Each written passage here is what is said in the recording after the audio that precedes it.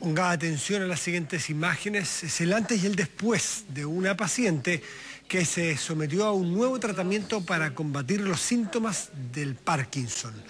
A continuación le presentamos dos nuevos avances que podrían cambiarle la vida a miles de personas en nuestro país.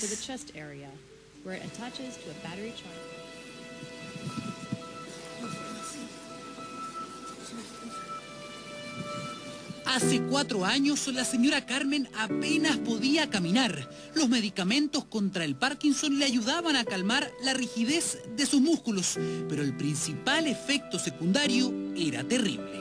Yo me movía entera, entera. No era este movimiento así del Parkinson, no, entera. No podía hacer eh, mis cosas esenciales, aseo personal.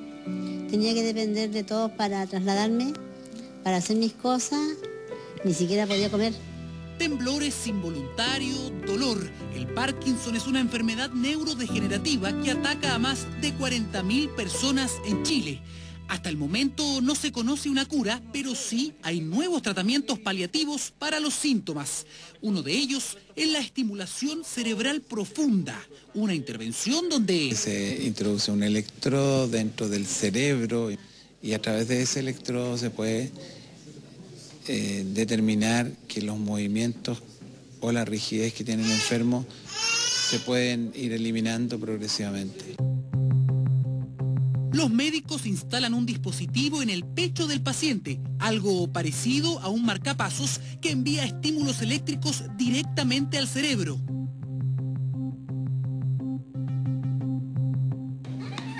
Después de dos años de planificación, Carmen se convirtió en la primera paciente que recibe este tratamiento en el sistema público de salud. Tenemos una persona que estaba rígida como una estatua de sal y hoy día está caminando, lavándose los dientes, vistiéndose sola, peinándose. Quiero que hagas este movimiento lo más rápido que puedas.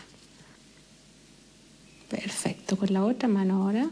El cambio es notorio. La rapidez del movimiento, la velocidad de respuesta, incluso caminar, es mucho más sencillo. ¿Cómo cambió su vida?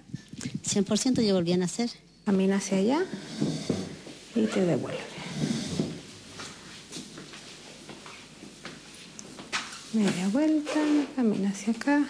Un hito que en todo caso tiene un alto costo económico. El tratamiento no está incluido en los planes de salud, así que Carmen tuvo que comprar el dispositivo, tecnología que cuesta 23 millones de pesos. Esto no es una cura para el Parkinson, pero permite sí mejorar la calidad de vida de manera muy significativa. Pero esta no es la única buena noticia. Hace pocos años, un científico chileno descubrió que usando el mismo estimulador, pero en la médula espinal, también disminuían los síntomas de algunos pacientes con Parkinson avanzado. Daniel, si tú pasas eh, aquí atrás, yo puedo explicar, ¿sí? usándote como modelo. Eh, si fuéramos a implantarte con un, estimulador eh, medular, ¿cierto? Lo que necesitamos es una pequeña batería, ¿cierto? O generador de pulso que se implanta bajo la piel, más o menos en esta zona, y desde esta batería sale entonces un cable que también va bajo la piel, y en la punta de este cable, en el extremo, hay un electrodo que eh, va inserto, ¿cierto?, eh, sobre la médula espinal. Tuvieron que pasar años para que esta terapia se pudiera aplicar en Chile. Faltaba un candidato que reuniera todas las condiciones. Son algunos pacientes que pueden responder a esta terapia. Lo que hemos visto hasta ahora es que son los pacientes en los cuales, a pesar de estar con la medicación correcta, la marcha es muy mala o la posición de la columna vertebral empieza a alterarse. Así caminaba don Miguel antes de someterse a la cirugía. Y así camina ahora. Él es el primer paciente que se somete al tratamiento en Chile y el número 30 en todo el mundo. Miguel respondió bastante bien. Él tenía una marcha muy alterada que no, no lograba compensarse con fármaco.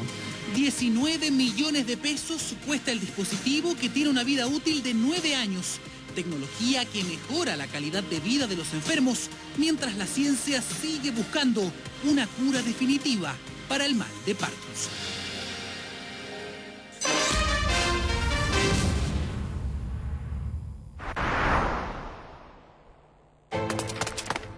Los que somos Movistar tenemos Movistar Series.